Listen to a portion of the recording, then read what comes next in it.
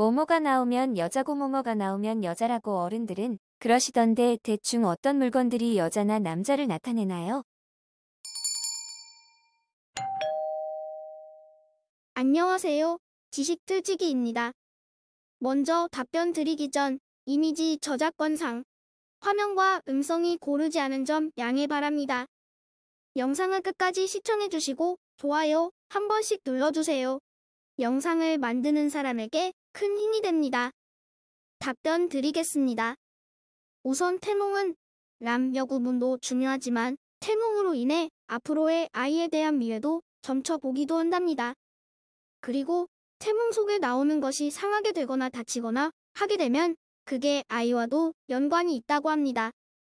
예를 들어서 물고기 태몽을 꾸었는데 물고기를 그냥 놓아준다면 아이가 유산될 경우도 있다고 합니다.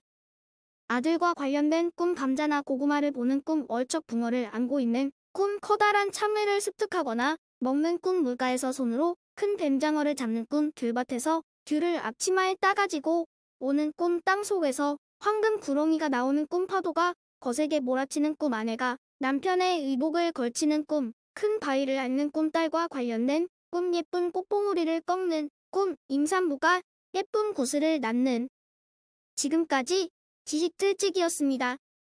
다음 영상은 더욱 호기심 많은 질문들로 데이트될 예정입니다. 구독하시면 일상생활에서 가끔 궁금한 질문들이 함께할 것입니다. 지식과 상식 얻어가세요. 감사합니다.